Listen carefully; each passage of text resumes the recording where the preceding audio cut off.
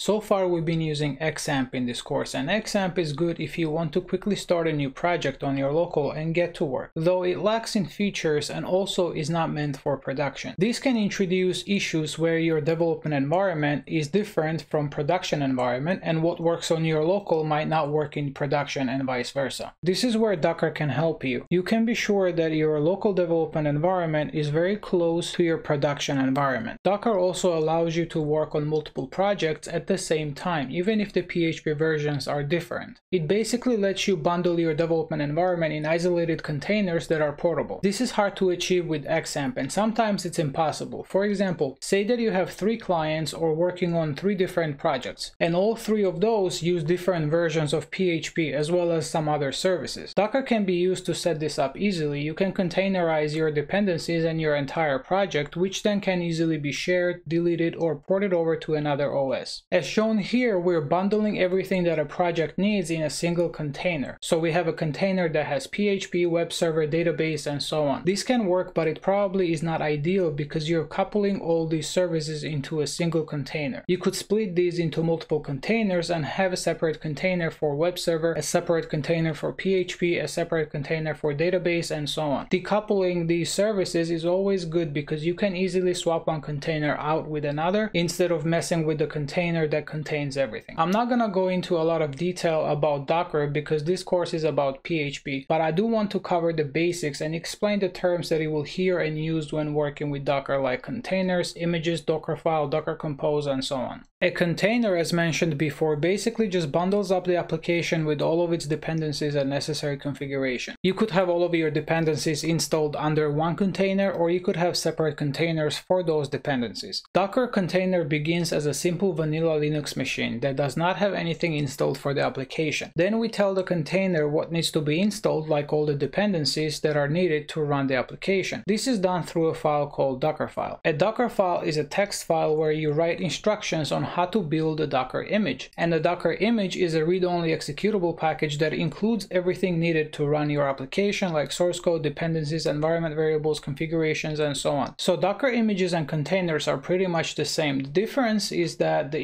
images are read-only and they can exist without containers. However, for containers to run, they need an image. In a way, you can think of images like templates. You cannot start or run these images, but instead you can use them as a base or a template to build your containers. So essentially, a container is just a runtime instance of an image that can now be modified. These images or containers are stored in repositories. They might be stored on private or public repositories like Docker Hub, for example. You can then pull those images from the repository and use them to build your containers on local, staging, or in production. Now, if this sounds confusing to you, don't worry about it. I'm not an expert in Docker either. I just learn as I go and Google things and watch tutorials whenever I need to work on something related to Docker. So before getting up and running with Docker, we need to decide what web server to use. In the first section of the course, we used Apache because that came by default with XAMPP. In this case, I'm going to use the opportunity to introduce Nginx because you might want to use Nginx instead of Apache in some cases, and it is a good idea to know a little bit of both. We will be installing PHP with Nginx and PHP FPM, and I'll explain what FPM is. Apache by default comes with something called mod_php. It basically means that PHP interpreter is embedded within Apache web server and runs PHP as an Apache module. If we look at the PHP info dump from our application in the browser that is running Apache with XAMPP, we see that the server API says it's Apache 2.0 handler. So that's basically indicator that we are using mod PHP. The downside of mod PHP is that the footprint for each Apache process is larger because it requires more resources when the PHP interpreter is embedded within Apache. The process will still contain PHP interpreter even when the request is for non-PHP files like static files for example, though this can be solved by using Content Delivery Network or CDN to load your assets. But that's a topic maybe for another lesson. PHP FPM stands for PHP Fast CGI Process Manager, which is basically an alternative, more advanced implementation of FastCGI. It's a gateway that sits in between your web server and your PHP code. So when the PHP file is requested, Nginx will communicate with PHP FPM and have it process only the PHP files and not the static files like style sheets or images. Note that you could use PHP FPM with Apache as well as Nginx, but for this lesson we'll set it up with Nginx. So should you use Nginx with PHP FPM instead of Apache? That really depends on your application and what you want to do. If you're already working on Apache, you don't need to switch to Nginx unless you're facing some issues and want to try Nginx. But usually it's not worth the time you would need to spend to switch from Apache to Nginx. If you're starting a new application, then maybe give Nginx a try. So let's get started. If you don't have Docker and Docker Compose installed on your machine, please go ahead and install them. I'm going to leave links in the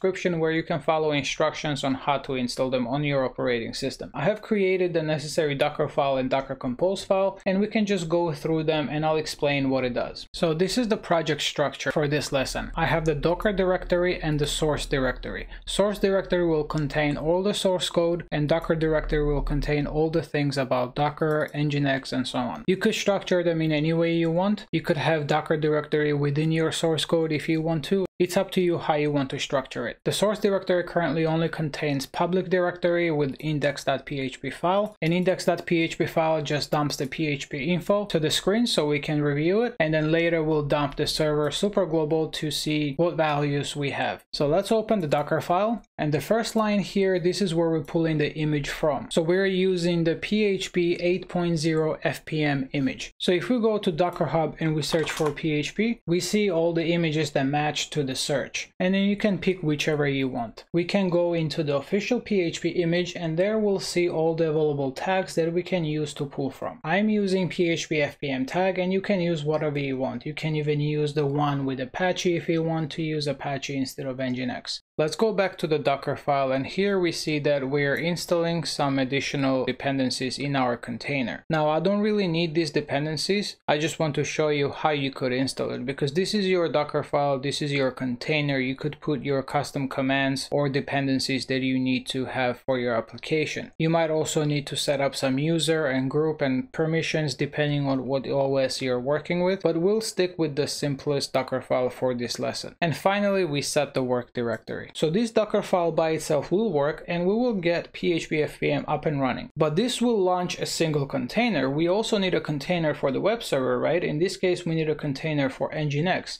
We're going to need a container later for MySQL database and so on. So we will need to run multiple containers at the same time. And we can do that by using Docker CLI and some shell scripting to fire off a bunch of commands. But there is a better way. There is a tool called Docker Compose, which makes managing these containers simpler via YML files. So let's open the Docker Compose YML file here. We're using the version 3.8 and we only have two services right now. We have the app service and we have the Nginx service. So this is our web server and this is our application. In the app service, we're telling it to use the Docker file that we just created in the context of current directory. So this is loading the Docker file from here. Then we're setting the container name and a few other parameters. The important one here is the volumes. Docker volume is basically a file system that is mounted on the Docker container. The volume is stored on the host machine. So in this case, on my Windows machine, and it's referencing the source directory where the actual source code is. So this basically maps and mounts the source directory on the the host to var www directory in the container. And then we have nginx service, which is our web server, and we're using nginx 1.19 Alpine. We give it a container name, and then we map the port of the local host to the port in the container. So we can just go in the browser and type in localhost port 8000 and access the website. But that port is being mapped to the port 80 that's running in the container for nginx. This allows you to have multiple projects running at the same time on different ports. So if you had another project where you had a custom Docker Compose file for that, you could set that port to be 8001 and then you could have both projects running at the same time, one running on port 8000 and the other one running on port 8001. And same thing here for the volumes, we're sharing the source code and also we're sharing the configuration file because we want to use a custom configuration file for the Nginx. Let's open that and go over it quick. So as you can see, Nginx configuration file looks a lot simpler than Apache's configuration file. We're saying that we're listening on port 80. The index file is index.php. We're setting the error and access uh, log paths. And then we're setting that error page should be loaded through index.php. What this means is that we're saying if we have a 404, we let our index.php handle the 404 page for us. Because without this, we would see the default Nginx 404 page, which is not so user friendly. This way we can have custom logic in index.php that will bootstrap our application to decide how to display 404 error page. Then we're setting the document root here, which is var www public, and then we're matching PHP files. So here we're basically telling Nginx to pass PHP requests to PHP FPM, which runs in app service. Then we're setting the index file and including fast CGI params and setting script file name using the document root. Then for any non-PHP file, we try to locate that file in the document root and if the file cannot be found, then we let our index.php figure out how to load or handle that file. And then we also turn on the gzip compression. You can also look at the default Nginx configuration file on Nginx website and you can see what other options they provide that you could customize. Let's test this out. So I'm going to open the terminal and run docker compose up and it's going to download all the necessary stuff and it has finished uh, installing everything and the containers are up. Right now if I hit control C it's going to stop the containers because the, in this terminal that's where the docker is running right now. You can run this by using docker compose up dash D so that it's not dependent on the terminal and it can run on the background. If I open another terminal here and type in docker ps I can see the currently running containers. We have the docker app and nginx. So everything seems to be working. And if I go to the browser, this is the site on localhost which runs in XAMPP. And as you can see, this is the Apache 2.0 handler. So this is the one ran in XAMPP. Now, if I change this to localhost port 8000, now we are in PHP version 8.0.2 and the server API says it's running through FPM fast CGI. So seems like it's working. Now, we did not use a custom PHP ini file. If you want to use custom PHP ini file, you could do that through the Docker Compose as well. The same way we shared the custom Nginx config, you could do the same thing with the PHP ini. Let's go back to the code and let's open index.php and comment out PHP info. If we refresh the page, we get a bunch of data. I know we haven't covered the super globals and the server super global variable, but basically that contains all the necessary information about the server and the request. For example, it contains the server port, software, gateway interface, document root, document URI, request URI, script name, and so on. Now, the cool thing about whatever we did is that no matter what page we access, if I go to posts,